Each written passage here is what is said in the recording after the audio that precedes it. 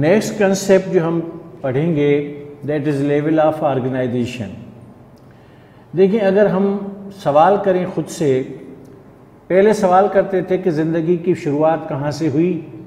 तो लोग कहते थे सेल से हुई। लेकिन अब जवाब ये नहीं है। Life actually begins from sub atomic particles like electron proton और न्यूट्रॉन सब एटॉमिक पार्टिकल्स मिलके एटम को बनाते हैं। एटम्स मिलके फिर मालिक्यूल्स को बनाते हैं मालिक्यूल्स मिलके ऑर्गेनेल्स को बनाते हैं ऑर्गेनेल्स मिलके सेल को बनाते हैं सेल टिश्यूज़ को बनाते हैं टिश्यूज़ ऑर्गन्स को बनाते हैं ऑर्गन्स सिस्टम्स को बनाते हैं, और सिस्टम जब क्रिएट हो जाता है तो एक ऑर्गेनिज्म बनता है। तो इसको हम इस तरह से देखेंगे कि life actually begins from the sub atomic particles like electron proton और न्यूट्रॉन तो these are various particles of the atom तो एटम्स आपस में मिलें तो मालिक्यूल बनता है। मसलन, पानी का फार्मूला है, दो हाइड्रोजन चाहिए और एक ऑक्सीजन चाहिए। तो सब एटॉमिक पार्टिकल्स मिलके एटम बनाएँगे एटम्स मिलके मालिक्यूल बनाएँगे।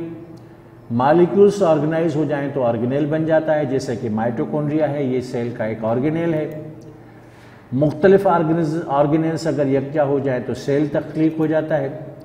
और सेल्स अगर मिल जाएँ तो टिश्यूज़ तख्लीक हो जाते हैं और टिश्यूज़ मिलके मुख्तलिफ़ किस्म के ऑर्गन्स को बनाते हैं। ये आपकी किडनीज़ हैं, ये आपके फेफड़े हैं, ये आपका लिवर है ब्रेन है स्टमक है और ये आपका दिल है।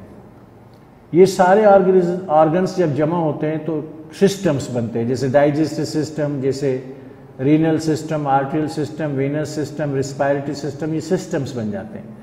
और सिस्टम्स के बनने से ऑर्गेनिज्म बन जाता है। वो एनिमल ऑर्गेनिज्म भी हो सकता है, वो प्लांट ऑर्गेनिज्म भी हो सकता है। और ऑर्गेनिज्म के लिए लफ्ज़ इस्तेमाल होता है स्पीशी इसको हम पहले डिफाइन कर चुके हैं कि group of individuals which have got same chromosome number and they are capable to interbreed and produce the babies तो एक इंडिविजुअल एक स्पीशी होती है। और अगर एक स्पीशी के बहुत सारे जानदार इकट्ठे हो जाए, मसलन दस इंसान खड़े हैं तो ये एक इंसान तो एक इंडिविजुअल होगा, लेकिन दस उनकी पॉपुलेशन होगी। तो स्पीशीज़ के अंदर इंडिविजुअल्स होते हैं और इंडिविजुअल मिल जाएँ तो पॉपुलेशन बनती है। और मुख्तलिफ़ जानदारों की पॉपुलेशंस जहाँ रहती हैं, वो कम्युनिटीज़ कहलाती हैं। जैसे कि आपको यहाँ हिरनियाँ भी नज़र आ रही हैं, खरगोश भी नज़र आ रहे हैं, भेड़ भी नज़र आ रही है गिलेरिया भी नज़र आ रही हैं, परिंदे भी नज़र आ रहे हैं। तो कोई एक एक थोड़ी होगा, इनकी काफ़ी सारी तादाद होगी। तो ये मुख्तलिफ़ किस्म की जानवरों की कम्यूनिटीज़ हैं। और कम्युनिटीज़ जिस जगह पर रहती है, वो जगह हैबिटेट कहलाती है। माइक्रो हैबिटेट भी होता है और मैक्रो हैबिटेट भी होता है। मसलन, दरख्त में अगर कोई घोंसला बना हुआ है तो वो एक परंदे का है, वो उसका माइक्रो हैबिटेट है।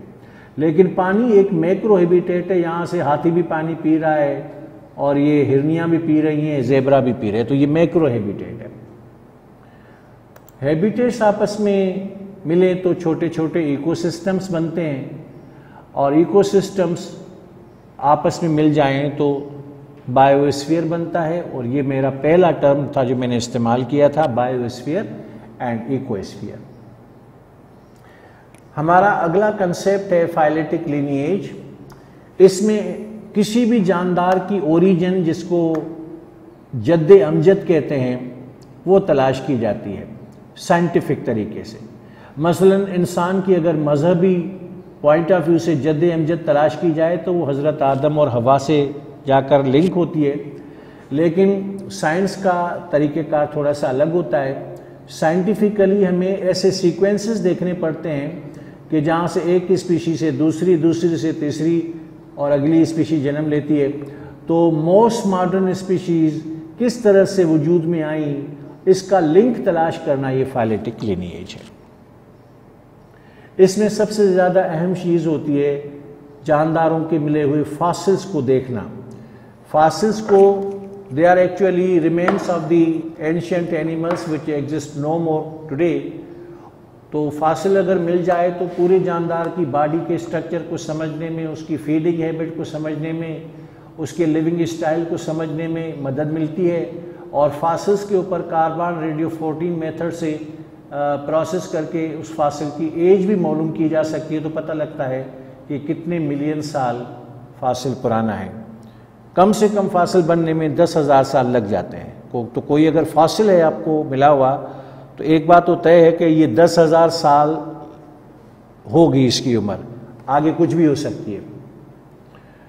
तो फासिल्स के स्टडी से हमें फाइलेटिक लिनिएज को डेवलप करने का मौका मिलता है। अगला कंसेप्ट है जियोलॉजिकल टाइम पीरियड ये बायोलॉजी का एप्टीट्यूड इसमें कम है, लेकिन नॉलेज की खातर आपको पढ़ा देते हैं कि ज़मीन की तख्लीक से लेकर मौजूदा असर हाजिर तक ज़मीन में मुख्तलिफ़ किस्म के पीरियड्स गुजरे हैं, जिनको Pliocene, eosin, Oligocene, Miocene, Pleistocene, ये ये सारे जियोलॉजिकल टाइम पीरियड हैं। ये असल में ज़मीन के अंदर और ज़मीन के सरफेस पे आने वाली उन तब्दीलियों का नाम है, जो वक्ता फ़वक्ता ज़मीन पे आती रही हैं।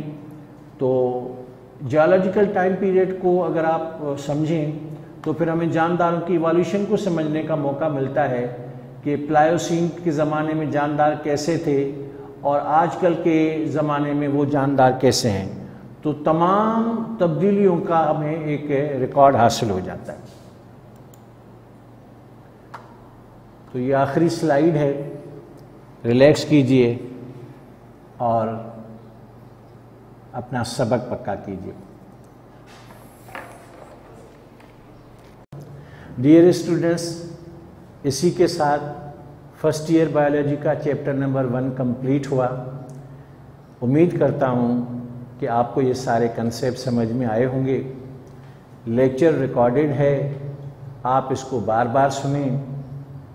जहाँ अगर कोई कन्फ्यूज़न है तो हम आपकी मदद करने के लिए तैयार हैं। थैंक यू वेरी मच अगली लेक्चर में, अगली क्लास में हाज़िर होंगे। अल्लाह हाफिज़।